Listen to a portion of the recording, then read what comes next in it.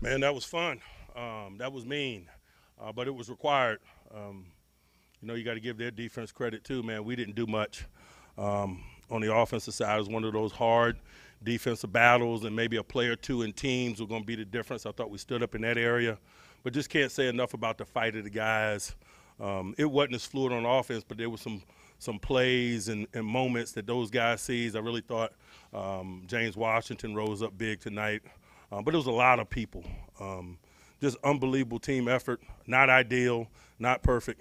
Uh, we'll evaluate tomorrow, but today we play, and I thought they played and played to win without fear. And uh, when you're playing a good opponent uh, like the LA Rams, man, that's how you got to play. Thankful, thankfully, we're able to do enough to, to get the victory. Got a couple of injuries.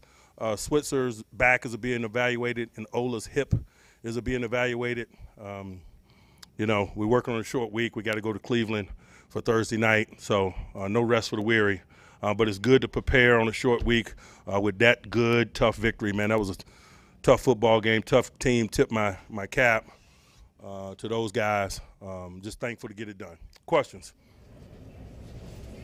Mike, what went into the offensive line shuffling for you guys, and how much do you think that helped against Donald today? You know, we just wanted to get the best pass protecting group out there. So essentially, we had three tackles on the field. You know, um, Matt Feiler is a very capable guard, but he's been standing up at tackle. Uh, he's a good pass protector.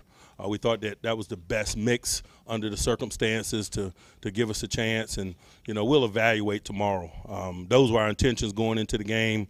Uh, we proceeded, and we proceeded without fear. We'll see what it looks like from an evaluation standpoint. What's the confidence you have right now in that defense and making plays?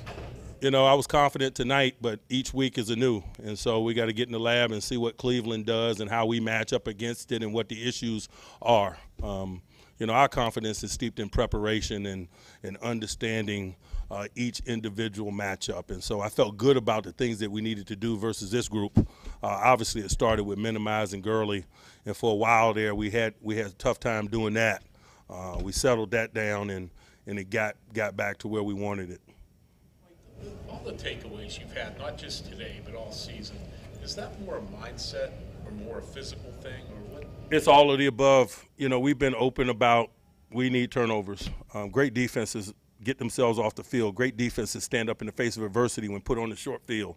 Um, so we've worked hard in that area. It starts first with the acquisition of guys that are capable in that area. Can't say enough about Minkah, for example. I mean, really, you know, the tear he's on is is what it is. It needs no endorsement from me.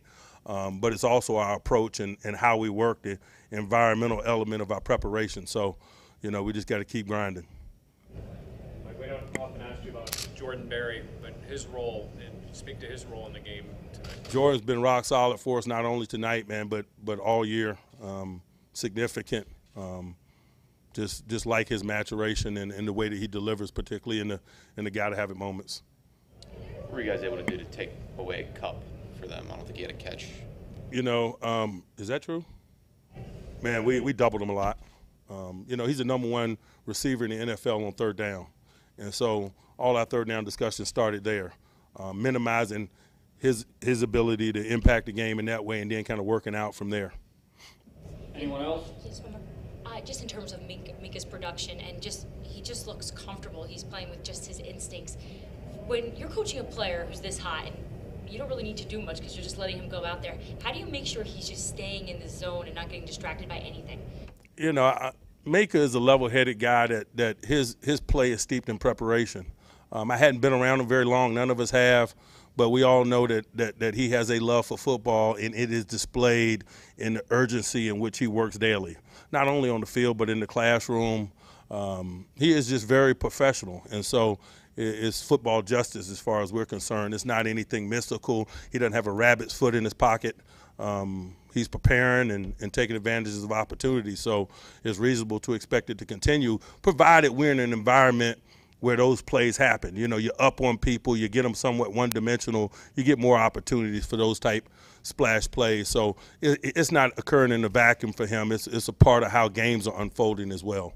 Mike, can you take us through the decision to go for a fourth and one on that field goal drive? We just we just plan to win. Um, We're just playing to win, and, and sometimes you got to take calculated risk. Sometimes it works out like it did in that instance. I was also the guy that called a play action pass on the minus six and got a sack for a safety. So, you know, some you win some, you lose some. Um, but when the guys are playing with that amount of energy and urgency, as coaches, man, we got to support them, and how we support them is being aggressive. Anyone else? Last one. Um, Mike, at this point right now, knowing the fact that how you guys have really turned this season around, what are you most proud of at this point in the season? I know you haven't won anything, there are no Super Bowls yet, but right now. You're right. We, we, I'm proud we won today. Um, not big picture people, not not cumulative people. Um, we played today. We'll evaluate it in the morning. I'm proud of their efforts tonight.